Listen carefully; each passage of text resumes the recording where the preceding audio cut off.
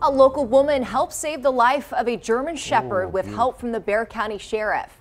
Debbie Cuellar saw Sadie, the German Shepherd, on the ACS website, and she was scheduled to be euthanized.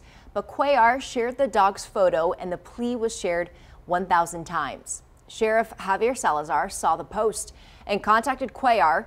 Then he found a retired canine officer in Corpus Christi to adopt Sadie. She is on her way to her new home today. Sadie's beautiful. Look at, mm-hmm. oh man. Cute dog. What Yes. a gorgeous dog. Big That's dog. Awesome. Yeah, you can see those paws. I don't think she's done mm-hmm. growing either. No, but they're great family dogs, you know. Absolutely. And hey, everybody, check out the ACS website. Lots of animals need a home, and you know. Yes. Adopt, don't shop. We Yeah. love it. We love it.